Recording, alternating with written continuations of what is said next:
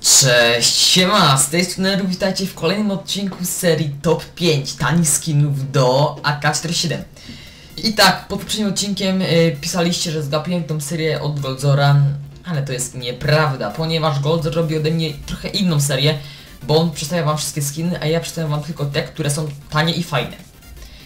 Zachęcam was do zostawienia łapki w górę i do zasubskrybowania kanału, jeśli tego nie robicie. Powiedz takich materiałów jak ten i już bez zbędnego gadania zapraszam na odcinek.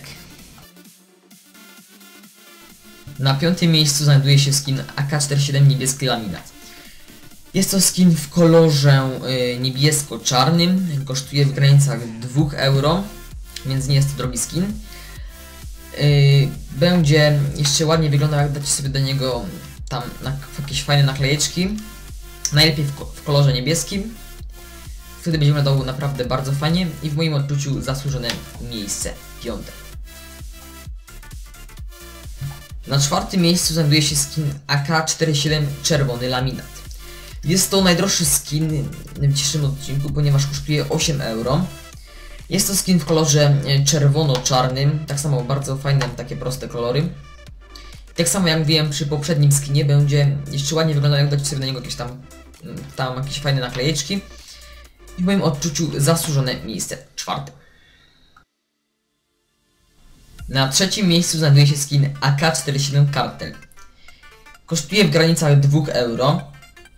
I tak, z daleka może wam się wydawać, że na tym skinie nie ma żadnego wzorka, bo wygląda jak zwykły kałach, bez skina.